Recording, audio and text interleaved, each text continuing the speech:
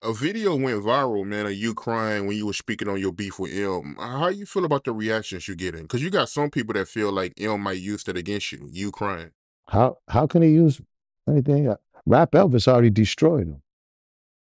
I already killed him with Rap Elvis. Where's he at? Where's the response?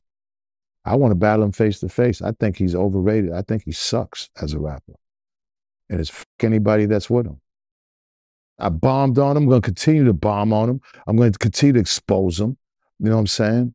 At the end of the day, people are waking up to his bullshit, and it is what it is. I'm going to go down to history as the Eminem slayer. But right, but right now it's Eminem. You know what I'm saying?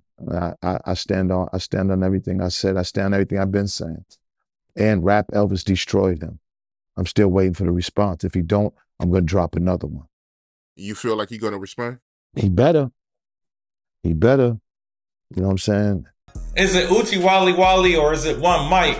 Is it Black Girl Lost a Shorty OE for Ice? It's Brice Davis on the check-in, and we got Benzino on the Art of Dialogue, where he calls himself the Eminem Slayer, even though that title goes to Melle Mel when he dropped that freestyle. First Hall of Famer, making diss tracks, I know you with that. Now everybody get ready for the kickback. But anyway, Benzino was just on Drink Champs crying, saying Eminem can rap and he don't know him to hate him, and if he saw him, he would hug him, this, that, and the third. And then it's like he sobered up and realized what he done, and now he's saying that he can't rap and he's overrated and his fans are this and that. Like, yo, I can't respect that. You was literally just crying 15 seconds ago. Got nothing against Eminem.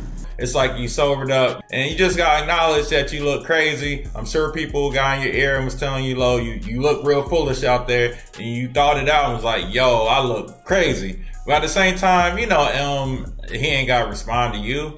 Like, you can't even make your mind up if you hate the dude or like him. Fuck man. I'd hug him. So why would he have to respond to you at this point?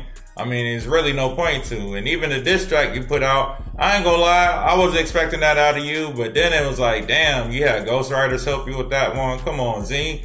But yeah, in my opinion, Benzino just needs to let it go and figure out what he got going on in his life where, you know, he's out here crying outrageously and, you know, especially being a 50 something year old man. But anyway, let me know how y'all feel about in the comments. Y'all think that Em needs to respond, has to respond, or y'all feel like Benzino's just using this as an opportunity to, I don't even know, get attention for every reason. And of course, if you like the video, make sure you like and subscribe.